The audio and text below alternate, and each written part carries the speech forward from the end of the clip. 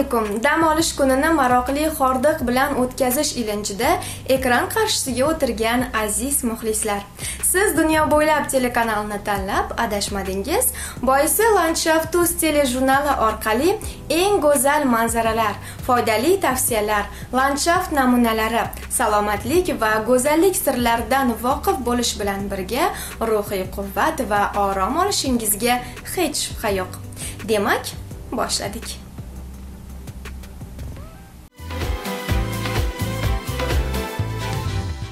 Mana yana ko'pchilik tomoshabinlarimiz uchun tanish bo'lib qolgan sahifaga ham navbat yetib keldi. Shu o'rinda o'z tomorqasida o'ziga xos landshaft yaratib uni tasvirga olib bizga yuborayotgan barcha barchaga minnatdorchilik bildiramiz. Qo'llaringiz aslo dard ko'rmasin. Gulzoringiz bundanda chiroy ochsin gullab yashnayversin. Bu go'zal manzaradan nafaqat o'zingiz balki yaqinlaringiz ham bahra olib qalbi zavqu shafqat to'lsa uni tomosha qilib orom olsa demak biz o'z maqsadimizga yetgan bo'lamiz. Hozir esa e, landshaft olami tanlovi uchun yuborilgan videoroliklarni namoyish etishda davom etamiz. Marhamat!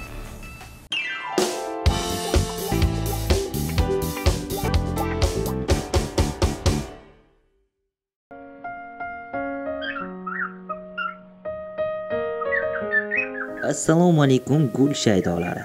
Men toshkent shahardan jahongir qudratov bo'laman. O'simliklarga juda ham qiziqaman. Kasbim video operatorlik. Landshaft loyihasini youtube orqali ko'rib bu yashil olamga qiziqishim juda ham ortdi.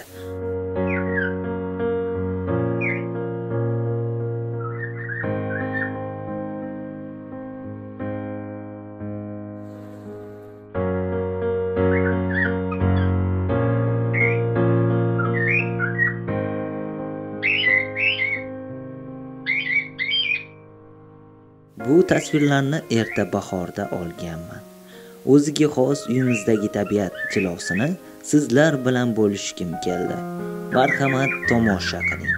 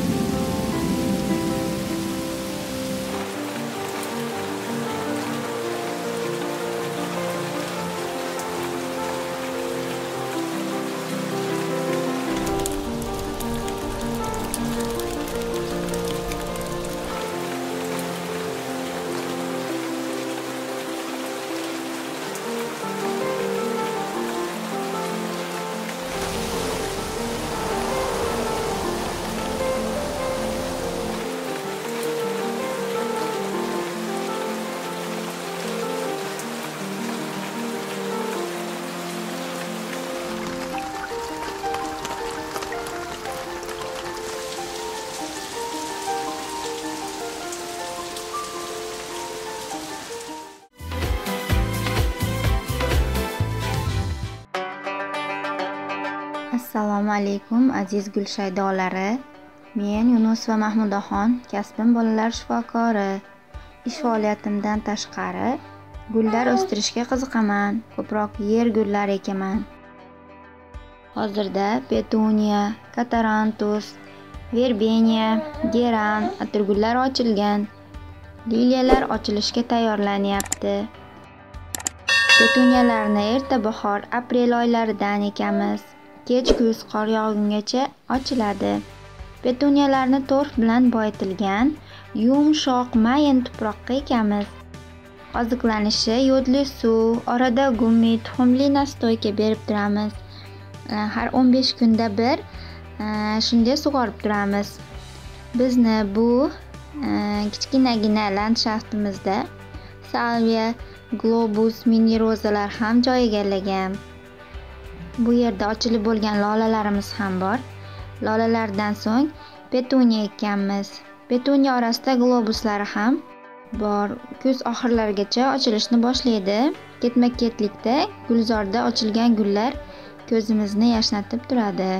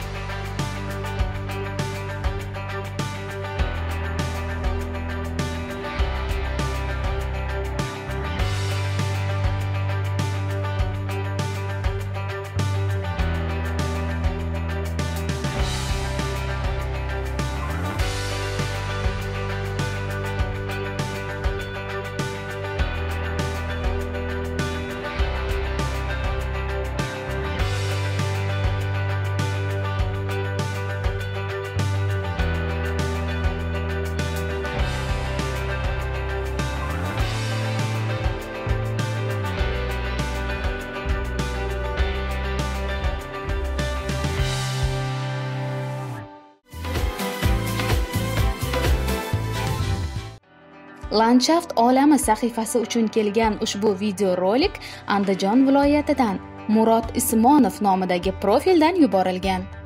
Hurmatli go'zallik shaydolari tanlovga mahsulot jo'natayotganda aytib o'tilgan qoidalarga to'liq amal qilishingizni so'rab qolamiz.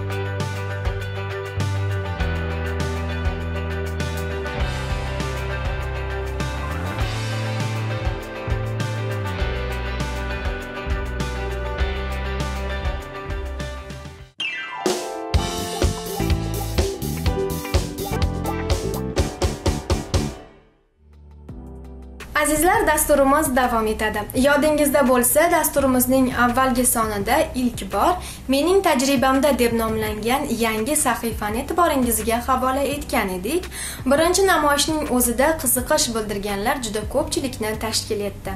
Va ulardan biri Samarqandlik muxlisamiz Shahlo Allaberdiyeva malacha guli parvarishidagi o'z usullarini sizlar bilan bo'lishni istadilar. Sutlamadoshlarga qiziquvchilar ekran qarshisiga yaqinroq keling. Hozir siz bilan birgalikda Shahloxon yuborgan video maslahatni eshitib o'rganamiz.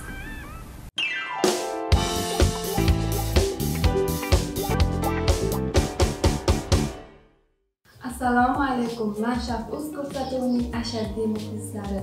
Bugun biz mening tajribam loyihasida malachay gulining malachay mila turi haqida gaplashamiz. Demak mening tajribamda malachay mila guli. Bu gul hamisha yil bo'yi gullab turishi bilan meni o'ziga rom etgan. Shuning uchun bu gulni bizda hamisha bahor guli ham deb atashadi. Malachay guli juda ham beor gul unchalik e'tibor talab qilmaydi. Malachay guli ikki xil bo'ladi. Mana gigantli malachay bu turi tup tup bo'lib peshni ya'ni katta katta bo'lib gullashadi va ko'rib turganingizdek malachay bu guli maydaroq gullari ham nozikroq bo'ladi lekin rosa ham chiroyli hamisha ochib turadi. Malachay gulini ko'paytirish juda ham oson. Bunda mana yonidan chiqqan shoxlarini olamiz. Mana ko'rib turganingizdek mana bu yerdan kesamiz va bu yerdan sut chiqadi. O'sha chiqqan sutni quritish uchun bir kun salqin xonaga qo'yib qo'yamiz buni hozir ko'paytirishga u tayyor lekin kun issiq bo'lganligi sababli biz buni kesmaymiz. Gulni ko'paytirish jarayonida birdaniga katta tuvakka ekishga shoshilmang. Har doim gulni kichikroq olgan atroskangizga qarab tufakni o'shanga qarab belgilab eking tuproq tarkibida mana ko'rib turganingizdek oddiy biohumus va yer tuproq tashkil qiladi. Malachay guli tuprog'i qattiq zich tuproqni xohlaydi. Lekin torf degan tushunchadan umuman yiroq bo'lishimiz kerak. Malachay guli tikka quyoshni yaxshi ko'radi. Shu sabab mana bunday bo'lib hamisha gullab turadi. Gullash davrida esa bir haftadan ikki haftagacha guli turadi. Bu gullaganida birinchi yashil tusga kiradi keyinchalik sariq bo'lib keyinchalik qizaradi mana bular уже bahorda ekkanim shu yil mana g'unchalagan. Bir sira gullab bo'lishdi. Gullab bo'lganda har doim olib tashlayman eski gullarini. Yangi gullash uchun kuch bersin deb mana ko'rib turganingizdek eski gullarini bu yerga tashlayman mana chay guli tikka quyoshni hozirgi kun jazirama issiqdagi quyoshni ham unchalik yoqtirmaydi. Buni o'z tajribamdan kelib chiqqan holatda aytyapman chunki barglarini kuydiradi sariq xunuk dog'lar tushib birdaniga barg to'kadi o'shanda tanani o'zi qoladi. Ammo lekin tanani o'zi qolgan taqdirda ham bu gul juda ham chidamli gul hisoblanadi. O'shanda ham gullayveradi lekin mana bunday tabiati ya'ni chiroyli manzara bo'lib gullari chiroyli bo'lib turmaydi. O'shaning uchun gulni asrab avaylashimiz lozim tikka quyoshdan ham. Malachay gulini ko'plar aytishadi sprey mumkin emas deb. Lekin men har doim sprey qilib turaman tozalikka rioya qilgan holda. Sprey qilish jarayoni. Mana bunday sepaman mana ko'ryapsiz barglariga. Gullagan bo'lsa o'sha guliga tekkizmagan holatda sepib artaman. Buning sababi ham toza bo'ladi ham kasalliklarga moyilchan bo'lmaydi. Gullarni chang g'ubordan qanchalik tozalasak shunchalik toza bo'ladi. Kasallikka chalinmaydi o'zimiz uchun ham oson. Xuddi hozirgi kunda dunyoning global muammosi hisoblangan koronavirus kabi. Bunda ham qo'llarimizni hamisha toza tutib tozalikka rioya qilsak virusga chalinmaymiz malachay gulimizni oziqlantiraman kimera lux bilan. Mana kimera lux buni bir choy qoshiqchasini 5 litr suvga tayyorlab hamma gullarimga qo'yaman. Barcha gullarimga qo'yaman. Albatta nam tuproqqa. Malachay gulini tabiiy ozuqalardan guruch suvi banan suvi bilan har doim ta'minlab turaman. Chunki bu tabiiy ozuqalar bularga juda ham koni foyda hisoblanadi. Malachay gulining eng sevimli ozuqasi bu shakar oddiy uyimizda hammaning uyida bor shakar hisoblanadi. Shakarni ikki xil usul bilan tayyorlayman. Birinchi usuli bir litr suvga iliq suvga ikki choy qoshiqcha shakar solib hamma gullarimga qo'yaman. Ikkinchi usuli esa mana ko'rib turganingizdek shakar olamiz bir choy qoshiqchani sepamiz girdiga tuprog'iga ya'ni aralashtirib tuprog'ini yumshatib qo'yamiz. Keyin malachay gulini sug'orish davrida o'sha tagi quriganiga to'liq ishonch hosil qilib sug'organ yaxshi. Bu gul suvsizlikka ham chidamli. Mening tajribamda malachay mela guli shu tariqa parvarishlanadi. Bu usullarimni bilgan usullarimni ya'ni tajribada qilgan usullarimni sizga ham aytdim. Xonadoningizda hamisha gullar iforib taralib tursin.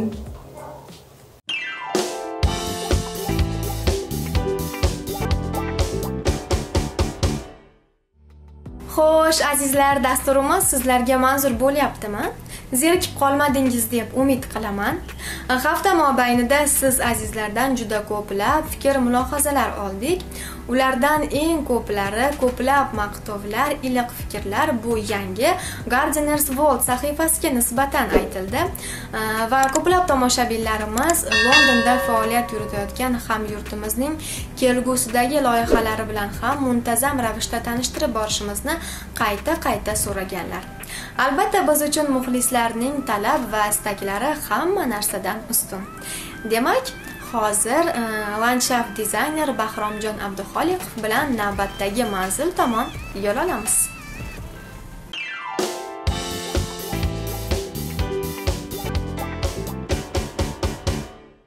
Assalomu alaykum. Bugun sizlar bilan men bahrom londondan yana o'tgan safar ko'rganinglardek garden centerlarga borib o'simliklarni olib keldik. Endi shu o'simliklarni borib ekamiz bugun rejamiz uyni oldini oldidagi e, tuyaklarga o'simliklarni ekish va ichkarida zaytun daraxtlarini sotib olganmiz o'sha zaytun daraxtlarini ham ekamiz va iloji bo'lsa uh, ularni keslab ham qo'yamiz Bu endi hozir biz Londonda qoq markazida turibmiz. Qoq markazidagi bir uh, uylardan biridamiz. Albatta bu uyda egalari albatta o'ziga to'g'boy odamlar. va albatta hamisha yil 12 oy gul bo'lishni xohlaydi. Birinchi mana uyda oldi kirishi entrance. Mana shu entranceda 3 ta tuvakchamiz bor. Mana bitta, ikkita, 3.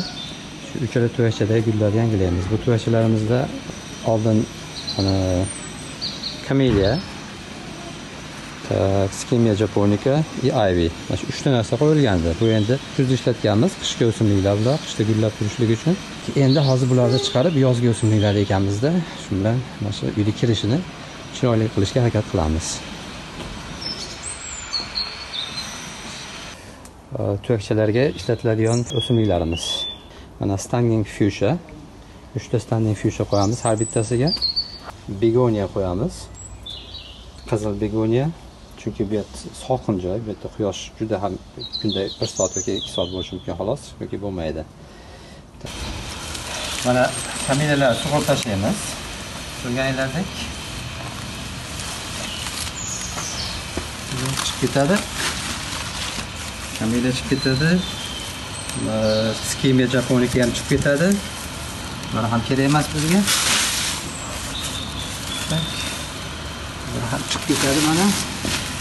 И mana ko'ryapsizlar tuproq. E, qishda biz skimiyalar bilan kamillarga albatta erikeshish tuproq ishlatiladi. Bu erikeshish tuproqni ham sug'urib olib tashlaymiz. Chunki hozirgi ekadigan e, o'simliklarga bu erikeshish tuproq yoqmaydi. Shuning uchun bu faqat kamiya bilan skimiya japonika ishlatiladigan tuproq bu. Buni chiqarib turib o'rniga e, oddiy tuproq bilan moisture control ya'ni namlik saqlovchi tuproqni aralashmasini qo'shib qo'yamiz va o'simliklarga qo'yiladigan shu qo'shiladigan dorilarni qo'shamiz. Mana endi e, tuproq tayyorlab olamiz. Boya aytgandek moisture control kompost ya'ni namlikni o'zida ko'p vaqt saqlab turuvchi tuproq mana oddiy tuproq. Tak, mana bu bone meal. Bone meal degani mana e, suvakdan va qondan tayyorlangan tayyor mineral. Bu mana tovuq axlatidan tayyorlangan mineral. Bromodni hozir bunga ishlatmaymiz faqat shu ikkalasini ishlatamiz. Hop qanday qilamiz? Mana chekin menyudan bitta solamiz. O'n mingdan bitta hovuch solamiz. И mana oddiy tuproqdan bir hovuch solamiz. Shuni aralashtiramiz shuni aralashtiramiz shu bilan mana aralashmamiz tayyor. Shuni mana olib borib eksak bo'laveradi. Mana ikkinchi tuyagimiz ham tayyor bo'ldi. Ekib qo'ydik. Mana boyagi o'zi sizlarga aytganimizdek kichkina begoniyalar ishlatdik chunki buni kattasidan olmoqchi edim o'zi. Lekin kattasini topolmadim. olmadim. Kichkina ekan. U yerda garden centerdan so'rasam ko'p narsa kelmayapti deyapti. Mana bu virus munosabati bilan hozir ko'p joylar yopiq. Bu asosan bu gollandiyadan keladi o'simliklar bu davlatga. Hozircha gollandiya bilan yo'llar yopilgani uchun ko'p ko'p o'simliklar kelmayapti shuning uchun boridan foydalanishga to'g'ri keldi. Lekin bular ham o'sadi. Ikki haftada уже mayda bo'ladi xudo xohlasa. Chunki yetarli darajada e, ingredientslarni qo'shib qo'ydik tuproqqa kamillalarni sug'urib tashladik O'tgan kuzda oldik 50 dollardan. Hammasi axlatga. Londonda shunaqa? Joyi yo'q. Saqlagani hamma yo'q. Ondan ishlatiladi axlatga tashlanadi. Londonni markazida oddiy odam yashamaydi albatta. Puli bor odam yashaydi. Shuning uchun bular hamisha gulni xohlaydi. Hamisha tirik gul bo'lishi kerak. Shuning uchun gul yo'qmi sug'uriladi yangi gul bor narsa olib kelib ekiladi. Qonun shunaqa bu yerda mana shu qonun bo'yicha harakatda bo'lamiz hamisha ishimiz oxirida sug'orib qo'yiladi albatta. Sug'orib chiroyli qilib. Keyin yana bir narsani sizlarga tushuntirib o'tmoqchiman. Ee, tuvakka ekilganda o'simlik. Ko'p sug'uriladi sug'oriladigan o'simlik ekadigan bo'lsanglar tuvaklarda ichida e, qurt paydo bo'ladi. Tomir deydigan qurt. Uni nomi wine weevil deyiladi. Mana shunga qarshi dorilar ishlatamiz biz. Shunaqa wine weevil e, o'simliklar tomirini yeydi bu endi ko'p sug'oriladigan o'ta nam tuproqlarda paydo bo'ladi. Agar shunaqangi bo'ladigan bo'lsa mana bunaqa dorisi bor wine weevil dorisi mana hozir biz bitta eski o'simliklarni горшокdan chiqaryotgandik o'shanda shunaqa narsa paydo bo'libdi. Shunga e'tibor berasizlar.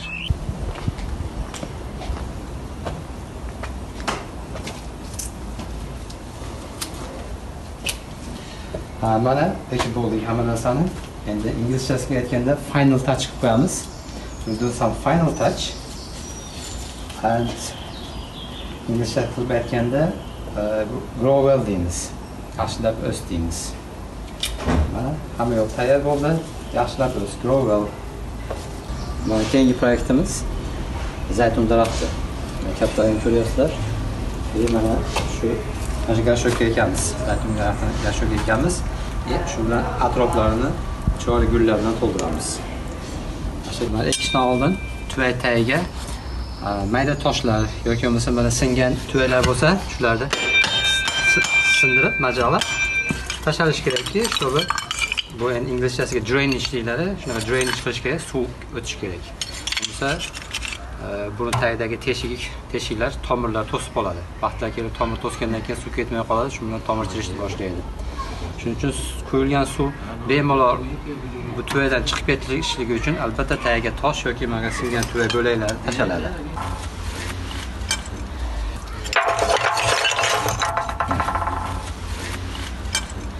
Inglizchasiga drainage deyiladi. Shunaqa drainage qilamiz. Hamisha. Ko'ryapsizlar mana? Darajada suv ketishiga imkoniyat yaratildi. Tuproq tashlasak bo'ladi. Bu zaytun daraxtiga biz albatta toshlik va qumlik tuproq ishlatamiz. Bunday qilayotganda o'zbekistonda eng yomon tuproq qaysi bo'lsa o'shani ishlasa bo'laveradi. Toshlik qumlik. Chunki bu issiq o'lkadan kelgan har qanaqa yomon sharoitda o'sishga o'rgangan o'simlik. Shuning uchun albatta bunga qimmat e, kompost yoki boshqa narsa sotib olish shart emas. Mana ekishga tayyor bo'ldi. Har qanaqangi daraxt yoki bo'shlarda ekishdan oldin albatta tomirlarni mana bunaqa jujin qilib qo'yish kerak. Chunki bu yangi o'sishga yordam beradi. Mana уже ekib bo'ldi tayyor. Tuproq bilan to'lg'izamizda atroflariga gullar ekishni boshlaymiz o'simliklar ekishni boshlaymiz. Biz bu yerda top soil ishlatdik bizda top soil deyiladi. Qumli tuproq.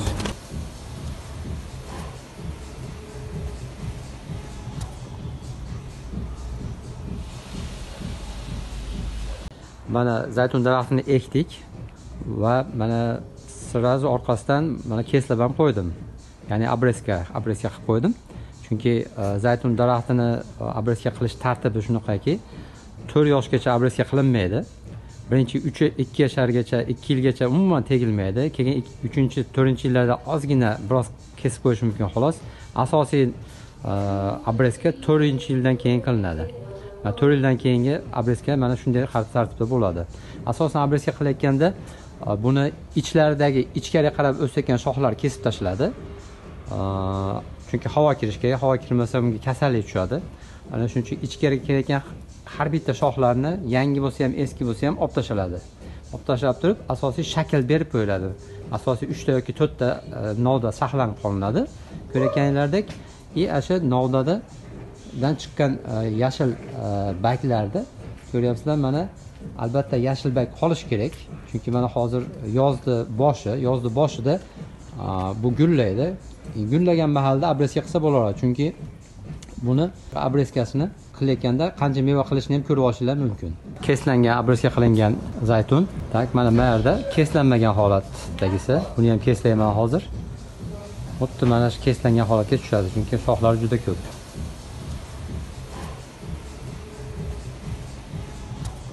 Zaytun daraxtlari o'z vaqtida agarda trim qilinmasa ya'ni keslanmasa mana shunaqangi kasalliklar kelib chiqishni boshlaydi mana. Endi londonda o'zbekistonda ham shunday bo'lsa kerak o'zbekistonda ham issiq. Shuning uchun albatta o'z vaqtida keslab turish kerak buni.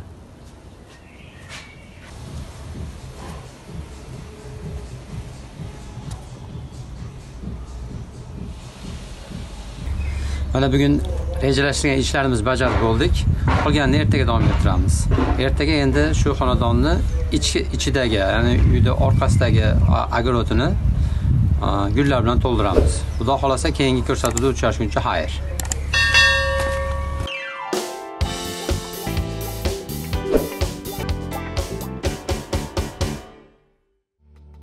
Azizlarni yana go'zallik va nafosat olamiga taklif etmoqchiman. Gullar olamining bir biridan chiroyli mo'jizakor vakillari haqidagi ma'lumotlar sizni befarq qoldirmasa dasturimizni kuzatishda davom eting.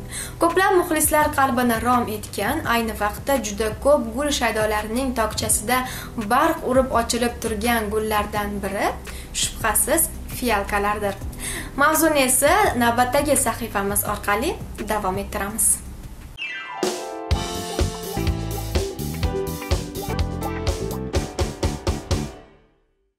Assalomu alaykum. Gulsevarlarga ma'lumki fiyalkalar eng injiq va ko'paytirilishi qiyin bo'lgan gullardan biridir. Ba'zi o'simliklar kabi uni osongina ko'paytirishni hamma ham uddalayvermaydi men ham yaqinda bir dugonamdan uning yaprog'ini ko'kartirish uchun olgan edim.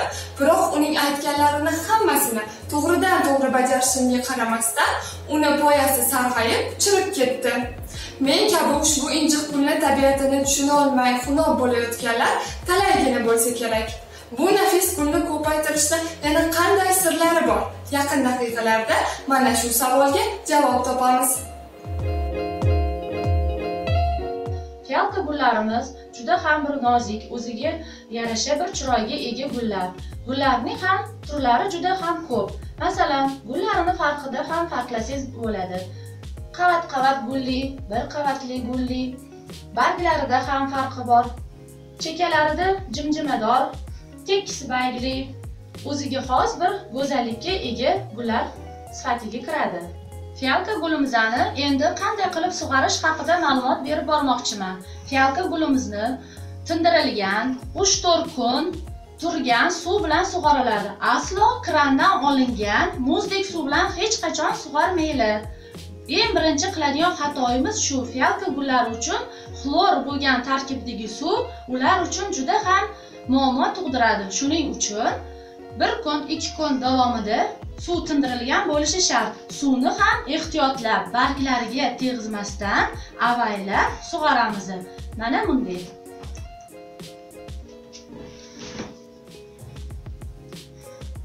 Bir soat davomida shu suv o'ziga shimib oladi. Ortiqcha suvi bo'lsa tarkibida tarelkasiga tushib qoladi. O'sha suvni darhol olib tashlab suvi qolsa agar to'kishimiz shart. Chunki ortiqcha suv ildizlarini chirchishi mumkin.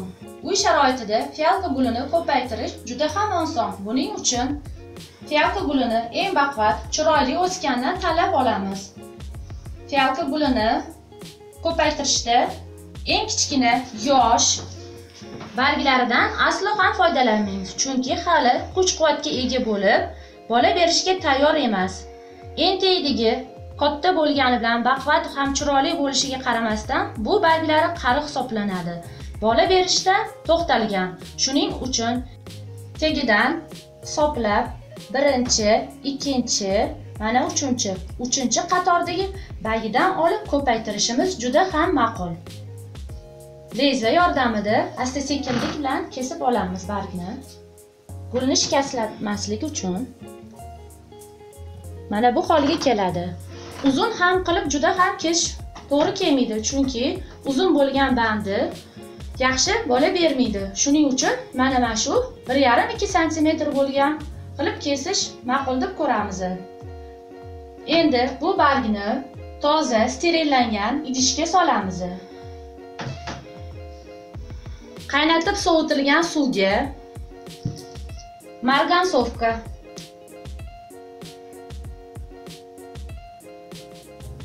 juda ham nimrang qilib tayyorlab olamiz. Bunday qilishimizni sababi gullarimizda bo'lgan bakterial kasalliklari rivojlanmasligi uchun.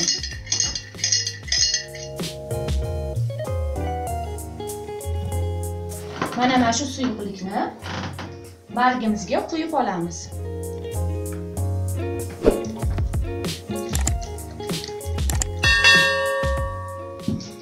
Uch to'rt daqiqa yaxshilab o'tib, chayib olamiz.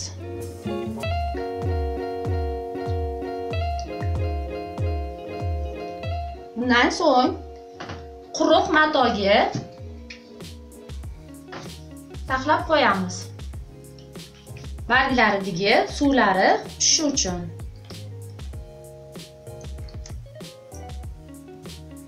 Mana bunday holga keltirib. Ikki soat davomida shu holda turadi. Bunday qilishimizdan maqsad ranglaridagi ortiqcha suvlar hammasi tushib ketishi kerak. Darrov ekib bo'lmaydi. Kesib olingan bandida yara hosil bo'lib suvlanadi. Suvlanishi to'xtalishi uchun ikki soat barg dam olishi kerak. Ikki soat vaqt o'tgandan keyin bargni ekishga tayyorlaymiz. Buning uchun plastik kichkinagina idishchamiz kerak bo'ladi. Tegi albatta teshilgan ichida esa mana bunday penoplastlar har bitta xonadonda ham topish juda ham oson. Penoplast perlit torf. Bularni aralashtiramiz.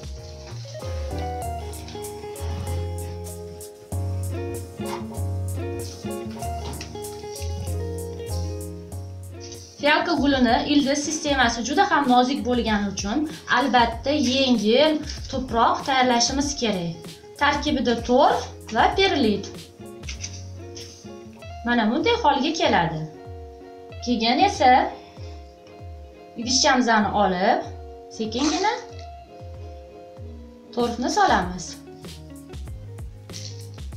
Ko'rib turganingizdek, juda ham to'ldirib solinmagan. Bundan maqsad fialka bargini ekkanimizda juda ham chuqur bo'lib ketmasligi uchun chuqur bo'lib ketgan fialka guli bargidan yaxshi bola berilmaydi.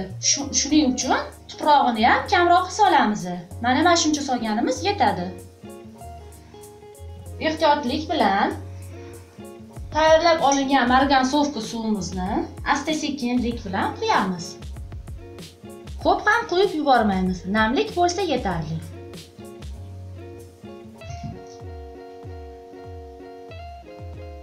Shu holatda fiyalka bargimizni ekib qo'yamiz. Juda ham qattiq bosib yubormaymiz. Ikki oy davomida ildiz sistemasi rivojlanib bola berishga tayyorlanadi. Buni saqlash yo'li albatta teplичка varianti. Uy sharoitida mana bunday plastik idishlardan ham foydalanishimiz mumkin. Shu holatda ikki oy davomida usti ochilmagan holda saqlanadi. Har zamonda xabar olib turib albatta tegi qurigan qurimaganini ko'rib turishimiz kerak. Idishi terlab ketsa ham mumkin emas. Plastik idishini ochib bir ikki daqiqaga havo berib turiladi. Terlagan bo'lsa albatta quruq sochiq bilan artib olamiz. Yana undan so'ng qopqog'i mahkam qilib yopiladi. 2 oy davomida o'tgandan keyin asta sekinlik bilan fialka baylarimiz bola berishga tayyorlanadi. Mana bu ko'rinishda. Shu holatga kelgandan keyin yana 2 oy davomida shu idishda o'sib baquvvat bo'lib bo'lib ekishga tayyorlanadi. Bo'lib ekkanimizda juda ham katta emas o'ziga mos bo'lgan tuvakda o'stiriladi. Ona barglaridan alohida ajratilib bitta fiyalka bargimiz to'rt beshta donagacha bola berish imkoniyati bor.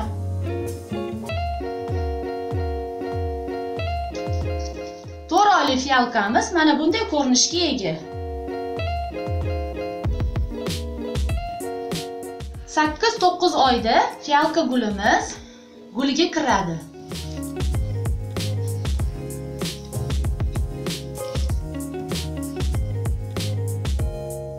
Simpolaga suv purkash shart emas ammo jazirama issiqda uni butasiga emas balki atrofidagi o'rab turgan havoga suv purkaladi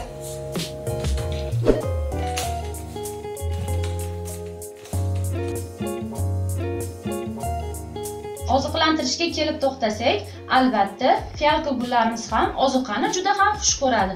Buning uchun men suyuqlik ozuqasidan foydalanaman. Tarkibida azot fosfor kaliy magniy mikroelementlari mavjud.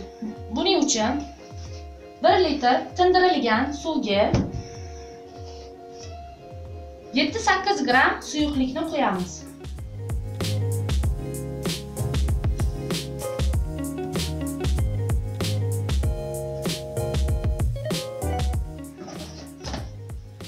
Yaxshilab chayqatamiz. Tarkibidagi ozuqalar gullarimizni yanada ham yashnab o'sish uchun gullarini ham ko'p bo'lishi uchun yordam beradi. Albatta bu ozuqadan 15 kunda bir foydalanishimiz ma'qul. Ozuqani ham ehtiyotkorlik bilan ranglariga tegdirmasdan sekingina yon atrofiga quyiladi. Juda ham ko'p quyib yuborish kerak emas ko'rib turganingizdek. Shuni o'zi yetarli. Har bitta gulga 15 kunda bir berib tursak juda ham yaxshi o'sishadi. Ozuqalarini ham ko'pligi ham bular uchun ham zarar.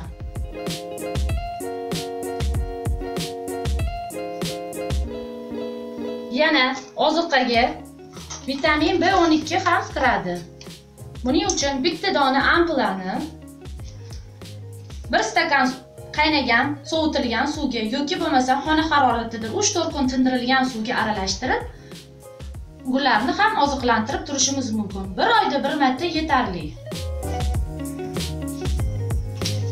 Ildiz sistemasi chirimasligi uchun fitospirin dorisidan ham foydalanib turaman. 2-3 oyda bir profilaktika uchun foydalangan ma'qul. Buni ham tarkibida juda ham kerakli bo'lgan parvarishli narsalar bo'lgani uchun chirish oldini olish uchun har xil kasalliklarini rivojlanmasligini uchun to'xtatishiga yordam beradi. Shuning uchun ikki uch oyda bir marta foydalanganimiz ma'qul. Fialka gullarimizni may oyidan oktyabr oyiga bo'lgan vaqtgacha oziqlantirish tavsiya etilmaydi. Chunki fialka gullarimiz issiq kunlarda dam olish vaqtiga ega. Oktyabr oylarida yana oziqlantirib boriladi. Gullari ham bejirim bir chiroyli bo'lib ochilib borishi uchun. Yoz oylarida esa tavsiya etilmaydi. Fialka gullarimiz uchun eng yaxshi bo'lgan xona harorati 20-22 darajadan baland bo'lmaganligi. Chunki e, fialka gullarimiz o'ta namlikni xush ko'rgani uchun quruq havoni xushlamaydi. Barglarini ham ehtiyotlashimiz kerak. Quruq ob havoda juda ham kun isib ketgani sababli yoniga idishchada muzdek suv qo'yib turishimiz ham yaxshi e, samara beradi. Masalan kun davomida juda ham kun isib ketganda ikki uch marotaba suvni alishtirib turish tavsiya etiladi. Fialka gullarimiz juda ham yorug'sevar gullar turiga kiradi. Shuning uchun kun davomida o'n o'n ikki soat yorug'lik tushib turishi shart. Chunki bu vaqtda fialka gullari o'ziga kerakli bo'lgan mikroelementlarga ega bo'ladi. Ushbu fiyalkani menga hamkasbim sovg'a qildi. Ilgari men bu gulni sira ham parvarish qilib ko'rmaganman. Shunday ekan men ham hozir o'rganish jarayonidaman. Yuqorida aytib o'tilgan maslahatlarga esa xuddi siz kabi amal qilishga harakat qilyapman va o'ylaymanki ushbu nafis fiyalkalar bilan til topisha olaman.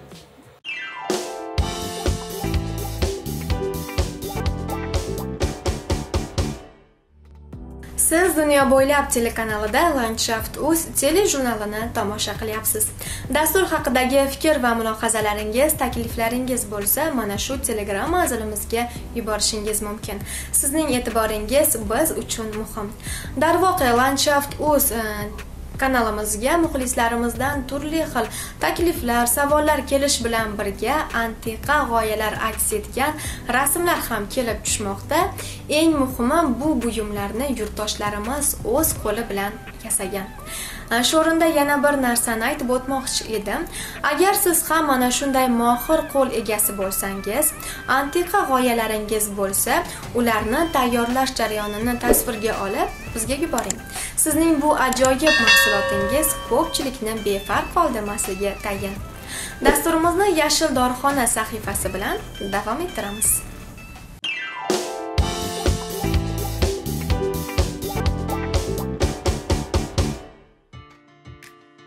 Isiriqni o'sib turgan holida ko'pchiligimiz ko'rmaganmiz lekin uning shifobaxsh xususiyatidan barchamiz xabardormiz. Bundan ming yillarcha muqaddam mashhur yunon tabiblari galen va diaskarit tomonidan isiriq atroflicha ta'riflanib shifobaxsh xususiyatlari ko'rsatib o'tilgan edi. Buyuk tabib abu ali ibn sino ham bir qator xastaliklarni davolashda isiriqqa murojaat qilgan. Isiriqning barcha qismlari va urug'i alkaloidlarga boy. O'simlik ildizida uch butun o'nda uch foizgacha. Poyasida uch butun yuzda ellik yetti foizgacha bargida to'rt butun yuzda to'qson olti foiz va urug'ida olti butun yuzda oltmish foizgacha alkaloidlar borligi qayd qilingan bo'lib ular yig'indisidan garmalin garmin peganel dezaksipeganin kabi moddalar ajratib olingan. Bulardan tashqari urug'ida ko'p miqdorda moy bo'ladi. Isiriq urug'idan juvvoz va boshqa usullar bilan yog' olish mumkin. Yog'ning xususiyati miyadagi to'siqlarni ochish paylarni mustahkamlash paylardagi yellarni tarqatishdir. Isiriq yog'ini ozuqa sifatida iste'mol qilish ham mumkin. Abu ali ibn sino isiriqni quymich asablari shamollashida tizza va suyaklar qaqshab og'rishida og'riq qoldiruvchi dori sifatida tavsiya etgan. Xalq tabobatida isiriqning yer ustki qismidan tayyorlangan qaynatma bot bezgak tutqanoq uyqusizlik shamollash va boshqa kasalliklarni davolashda ishlatiladi. Bulardan tashqari qo'tir qichima va boshqa teri kasalliklariga ham davo qiladi. Urug'idan tayyorlangan qaynatma zig'ir urug'ining qaynatmasi bilan birga nafas qisishi nafas olishning qiyinlashishida. Qalampir urug'i qaynatmasi bilan zahm bot kasalliklariga davo bo'ladi. Isiriq peshob haydovchi terlatuvchi grippni oldini oluvchi oshqozon ichak tizimi kasalliklarini davolovchi xususiyatga ham ega. Og'rigan tishni isiriq bilan chayish yaxshi natija beradi. Buning uchun isiriq qaynagan suvda damlanadi. Undan so'ng sovutilib og'iz bo'shlig'i chayiladi. Ilmiy tibbiyot isiriq tarkibida bo'lgan ta'sirchan moddalar ko'zga ko'rinmas mikroorganizmlarga qiron keltirishini isbotlab bergan. Isiriq tutatsangiz xonangizning havosi tozalanadi mikrob va infeksiyalarni bartaraf etadi. So'nggi paytlarda isiriq tojdor virus davosi sifatida ko'p tilga olinmoqda. O'zbekiston bosh sanitar vrachi bahrom almatov koronavirus bo'yicha mamlakatdagi vaziyat ushbu infeksiyaning oldini olish va boshqa savollarga bergan javobida shunday ta'kidlagan. Isiriq to'g'ridan to'g'ri yordam bermaydi lekin uning foydali xususiyatlari juda ko'p.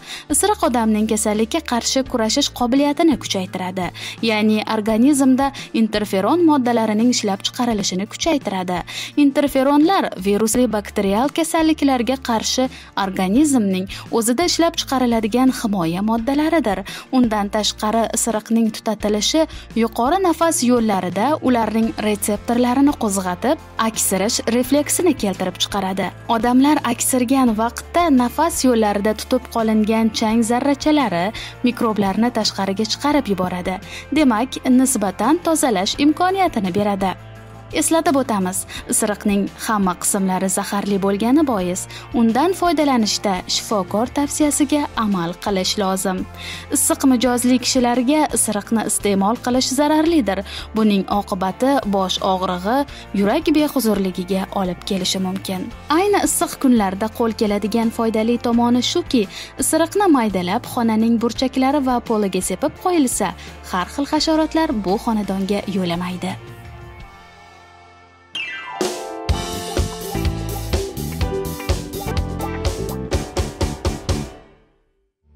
Aziz gulshaydolari siz kutgan foto jamlanma sahifasiga ham navbat yetib keldi.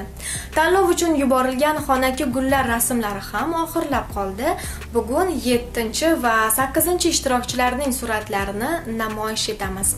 Kelasi dasturda esa yana bir mavsum o'z nihoyasiga yetadi. Demak hayajonli daqiqalar yaqin. Ishtirokchilarga omad tilaymiz. Tomoshabinlarimizdan esa ularni qo'llab quvvatlab turishini va oldindagi so'rovnomada faol bo'lishlarini so'rab qolamiz.